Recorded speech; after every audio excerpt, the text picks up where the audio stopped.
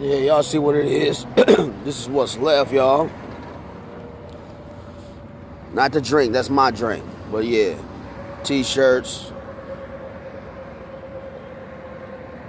satellite radio, at Sirius XM, Onyx radio, easy, easy radio, Onyx Easy radio for your uh, for your ride. Yeah, I might as well talk to y'all real quick since I'm on YouTube. YouTube, and then for my YouTube fans, the ones that's keeping it real with the nigga and, and supporting the nigga, the rest of y'all just be playing some fake and phony shit. But that's alright.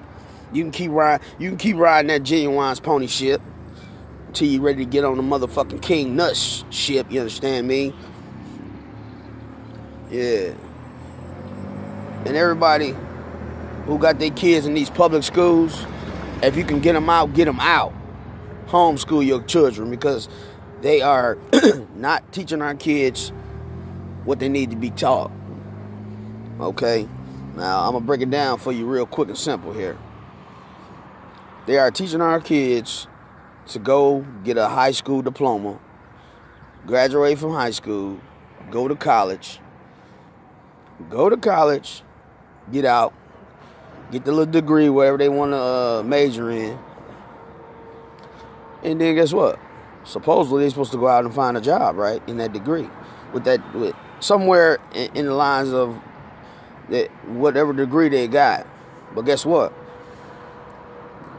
When they they're not teaching them to go out and own own a business or or how to own a home or or how to flip their money, triple their money. They all they doing is brainwashing our children and putting in their heads that you need to go out here and work for some other motherfucker and make them rich. Now where they do that at?